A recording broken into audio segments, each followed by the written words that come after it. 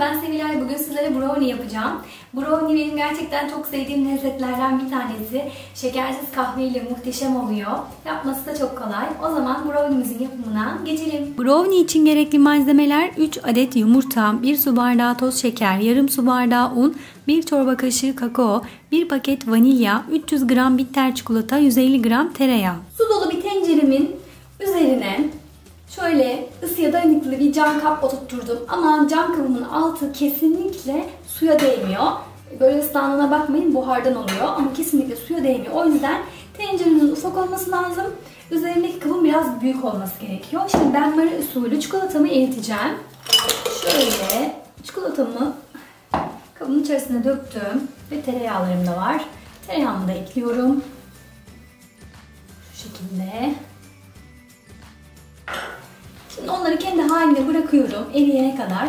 Erimeye başlayınca karıştıracağım. Çikolatalarım erimeye başladı. Şimdi artık bu aşamadan sonra sürekli karıştırıyorum. Erimelerine yardımcı oluyorum. Böyle tamamen pürüzsüz oluncaya kadar karıştırarak eritiyorum. Çikolatam ve tereyağım eridi. Pürüzsüzce görüyorsunuz. Çok güzel oldu. Şimdi bunun üzerinden alacağım kabımı ve ben yumurtalarımla şekerimi çırpacağım.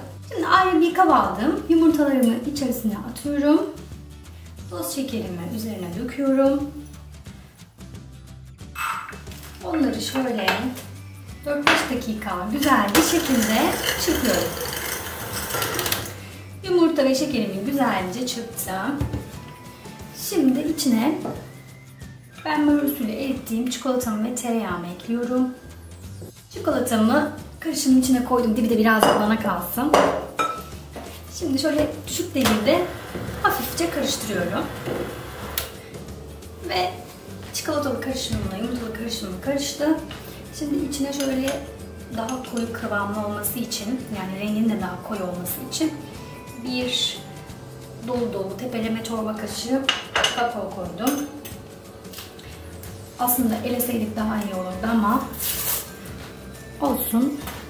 Unumuzu eleyerek koyacağız ama mutlaka. Şöyle mikserimi kenara çekiyorum. Vanilyam var.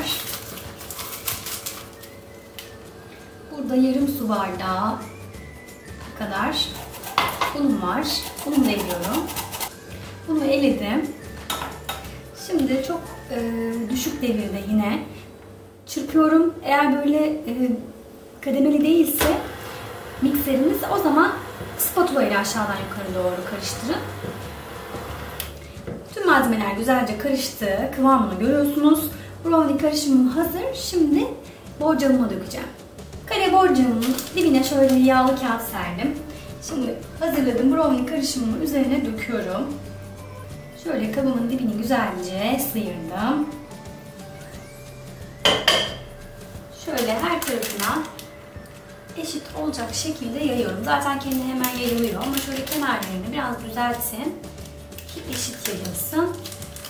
Özellikle şu kenar kısımları. Şimdi önceden ısıtılmış ama sıcak olsun fırınları mutlaka. Çünkü bir anda pişsin böyle üzeri kabuk bağlasın. İçi yumuşak kalsın, ıslak kalsın. Brownie'nin özelliği bu. Önceden ısıtılmış 180 derece fırında 20 dakika kadar pişireceğim.